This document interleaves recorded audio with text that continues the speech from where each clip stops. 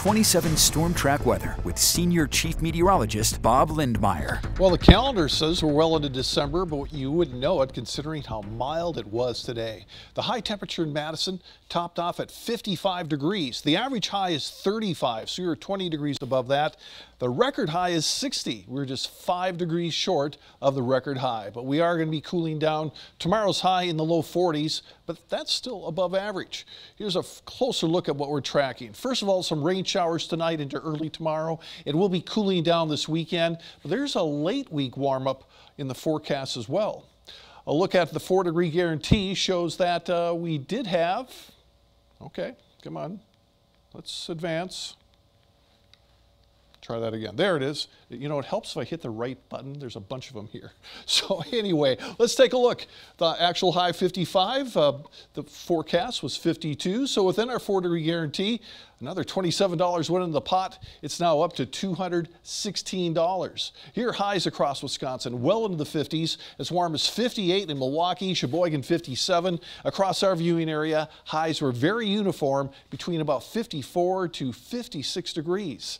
And it's very mild, not only through southern Wisconsin, but through much of the nation's midsection. The cooler air has been well off to our northwest throughout the day.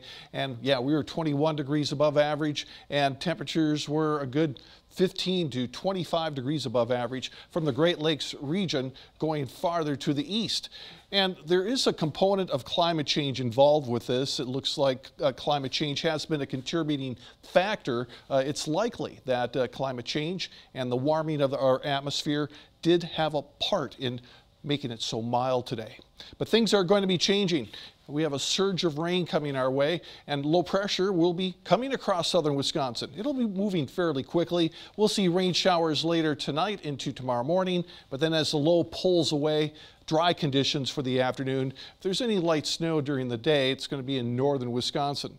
Now, after that, uh, we'll see the clouds clear out for your Sunday. Plenty of afternoon sunshine, but colder temperatures, and then we'll keep sunny and seasonably cold weather going into Monday.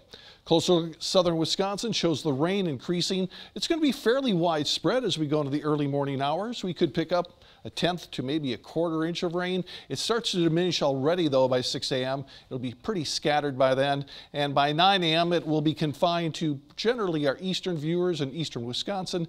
Then it comes to a complete end. Now as we go into tomorrow night, there could be a few snow flurries or a few light snow showers, but the chances are low. And even though we start off with cloud cover Sunday morning, we'll see those clouds clear away. We'll have a lot of sunshine in the afternoon. Temperatures cooling down, readings tomorrow afternoon in the low to mid 40s, and by Sunday we'll have highs in the low to mid 50s, mid to uh, or mid to low to mid 30s, and by Monday we'll have highs in the mid to upper 30s. And after that, the cool down continues through Wednesday before we start to see temperatures recover later next week.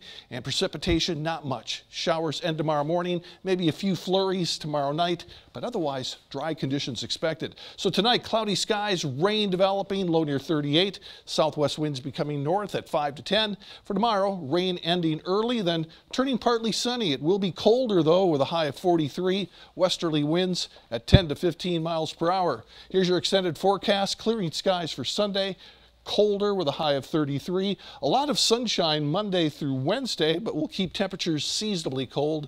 But then late next week, getting back into the 40s, well above average. So no real winter-like weather in this forecast. Just some wet weather tonight, then near to above normal temperatures uh, for the next week or so.